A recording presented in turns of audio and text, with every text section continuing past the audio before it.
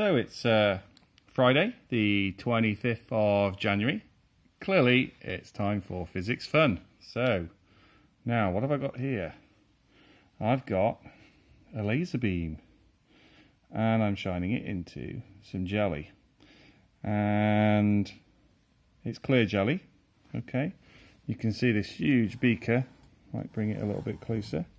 And we can see from the uh, transmission of light, so if you think right at the top of the picture, just going off screen right up here, right at the top there, the laser beam is shining down into the jelly and we're seeing transmission of light, so some is coming onto my hand here, but we're also seeing dispersion of the light beam itself. Let's uh,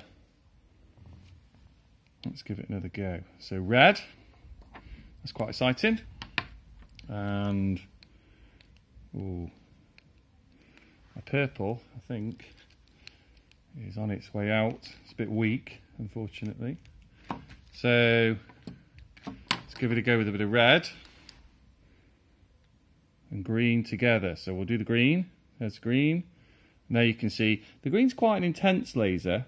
Um, some of that's to do with the idea that your light is more sensitive to green light. So although it may be the same power, actually it appears more intense to your eyes. You can see we've got, we can do transmission of light, the beam goes across. I can move it at different angles, but really, I think it's really exciting seeing that, that scattering effect. So let's try, we'll mix the colours. So the red and the green simultaneously.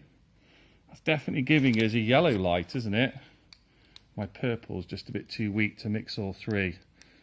So there we go. So we've got transmission of light and we've also got scattering inside a beaker.